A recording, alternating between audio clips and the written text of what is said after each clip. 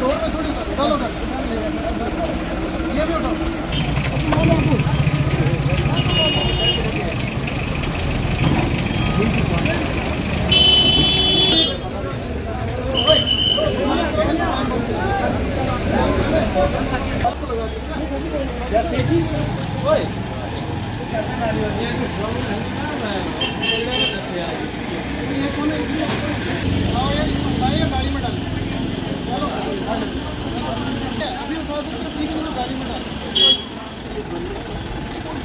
करने को छोड़ो भैया ना आप